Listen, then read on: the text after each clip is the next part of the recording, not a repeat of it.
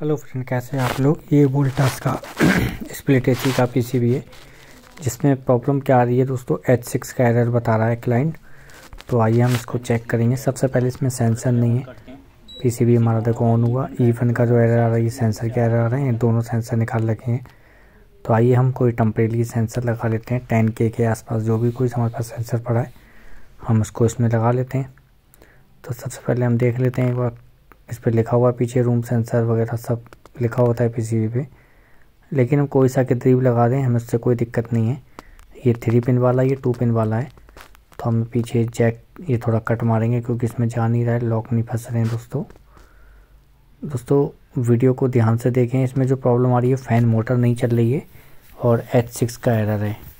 अगर fan motor नहीं चल रही है तो ज़ाहिर सी बात है एच सिक्स का एरर ही है फ़ैन मोटर का।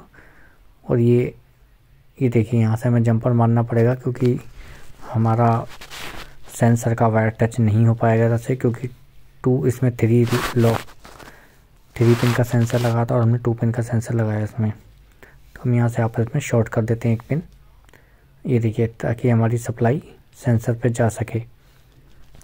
ये हमने शॉर्ट कर दिया, अब हम पीसी को एक बार ऑन करेंगे मोटर की सॉरी हम मोटर का जैक लगाएँगे। क्योंकि देखेंगे मोटर चलती है हमारी, नहीं चलती है। ये देखिए, हमने लगा दिया पीसीबी को ऑन किया टम्परेचर आ गया। और ये देखिए मोटर काफ़ी टाइट घुमाने पर चल रही है और मोटर हमारी नहीं चली गई है। तो इसमें दिक्कत क्या, ये देखिए, काफ़ी टाइट हो रही है मोटर तो देख लेते हैं हम टेस्ट कर लेते हैं हम इसको, आखिर इसमें दिक्कत है क्या? पीसीबी को उल्टा करेंगे और मोटर पे हम सप्लाई चेक करेंगे। सबसे पहले हम डीसी मोड पर लाएँगे ब्लैक वाली को ग्राउंड पे लगाएँगे। सप्लाई ये देखिए हमारा 340 वोल्ट आ रहा है। यहाँ पर आ रहा है और हम फ्यूज़ से आगे चेक करेंगे।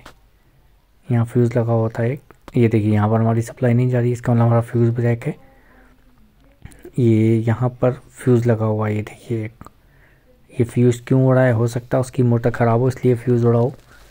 ये भी हो सकता है, लेकिन हम पहले टेस्ट करेंगे। फ्यूज़ को हम निकाल लेते हैं। निकालने के बाद टेस्ट करेंगे। और टेस्ट करने के बाद हम चला के देखेंगे कि वर्क करेगा भी या नहीं करेगा भी। सबसे पहले मोटर का जैक निकाल लेते हैं। ये देखिए, ये फ्यूज़ है दो एम्पेयर लिखा हुआ है इस फ्यूज़ पे। ये फ्यूज़ से कंटिन्यूटी भी हमारी नहीं बता रहा है, इसको हम जैक लगा लेते हैं और अब हम फ्यूज़ निकाल लेते हैं। काफ़ी आसानी से पीसीबी रिपेयर हो जाते हैं। थोड़ा ध्यान रखें फ्यूज़ लगाने के बाद टेस्ट करेंगे कि हमारा मोटर वर्क करेगा या नहीं करेगा। देखते हैं हम। हमने देखिए फ्यूज़ निकाल लिया ये। ये दो एम्पेयर का फ्यूज़ है और इसको हम टेस्ट करेंगे कंटिन्यूटी मोड पे। लेके आते हैं मीटर से। ये देखिए बीप की आवाज़ आ रही है, वो टेस्ट करते हैं। ये देखिए हमारा फ्यूज़ डैमेज है। ये फ्यूज़ ख़राब है दोस्तों, बीप की आवाज़ नहीं आ रही है। तो हम इसको डायरेक्ट कर देते हैं, हमारे पास फ्यूज़ तो अवेलेबल नहीं है तो हम थोड़ा सा जंपर लगा के वायर जंप कर देते हैं यहाँ से यहाँ पर, पतला वायर। ये देखिए हमने जंपर कर देते हैं दोस्तों। दोस्तों, जब तक हम वायर जंपर करते हैं, जब तक आप हमारे चैनल को सब्सक्राइब कर लें और वीडियो को आगे शेयर भी कर दें, ताकि दूसरों को भी सीखने को कुछ मिले।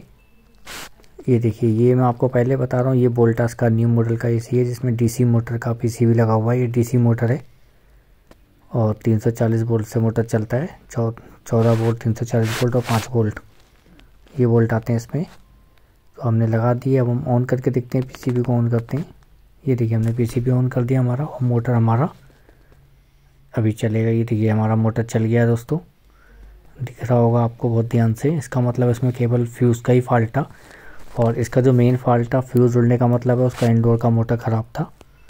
इसीलिए उसमें दिक्कत आ रही थी दोस्तों। ये देखिए। इस पीसीबी में जो प्रॉब्लम थी एच सिक्स की एरर थी।